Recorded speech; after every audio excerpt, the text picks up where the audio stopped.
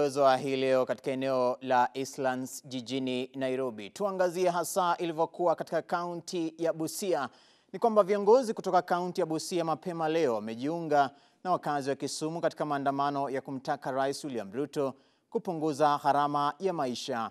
Wakiongozwa na Josephat Wandera, kiongozi walio wengi katika bunge la kaunti hiyo, wamemtaka Rais William Ruto kuwajibikia ama kuwajibika vilivyo kuhakikisha gharama ya maisha inarudi chini. Baba! Baba! Baba, eh? Baba! Baba, eh? Baba!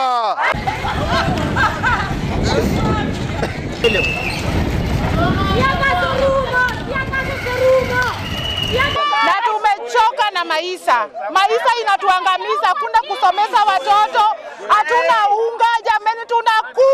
Tunakufa juu ya njaa. Polisi pia wanatusumbua, tukikuja kumandamano mzuri wanatusumbua na wanatuangamiza. Tujo- tusi- tuishi wapi? Tuko kwa Kenya gani? Na tulitafuta imani miaka ya- miaka iliyopita. Sisi ni wamama, sisi ndio tuko jikoni, vitu zinapanda, ni tunateseka, hakuna unga, arudishe bei ya unga chini. Tuko kwa barabara, tunafanya maandamano ya amani. in Kondele uh, injunction with our brothers and sisters about the issue of maandamano And indeed, you can see what is in Kisumu. Our brothers are on the streets and they are demanding of what Baba says. Life is so difficult. Things are very, uh, very much expensive.